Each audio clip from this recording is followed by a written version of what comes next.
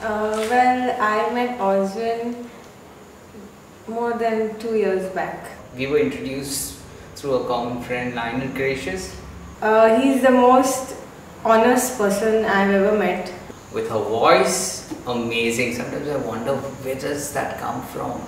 He enters the room only the full room gets all bright. You know, he start he'll come and he'll make fun and his cute smiling face. He brings life into the room. She's cute, she's loving, she's caring. He's somebody who can make um, something beautiful from nothing. Very talented, very patient. He's always very calm and deals with everything very smoothly. She's sweet, she's pretty, her smile, man, it's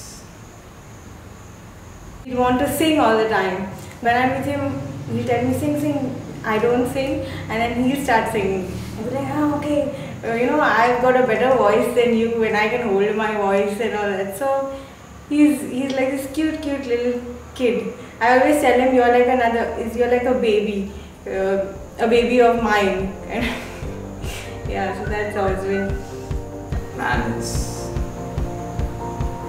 she makes me happy finally. He encourages me a lot in um, whatever I want to do. He tells me like, go and do it, go get whatever you want to do, whatever makes you happy. So he makes me happy. and uh, yeah, I love him a lot. He's the best person I've ever met, and can't wait for 19th of December. That's it. Yes, we need to get married now.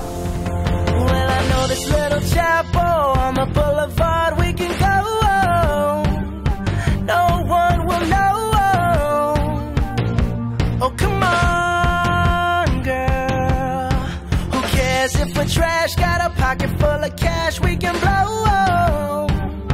Shots of patrol.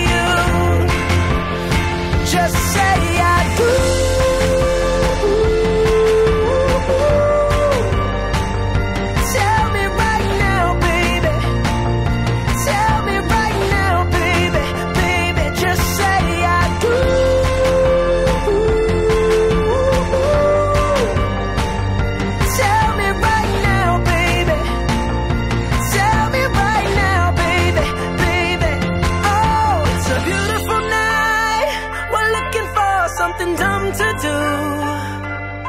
Hey, baby, I think I wanna marry you.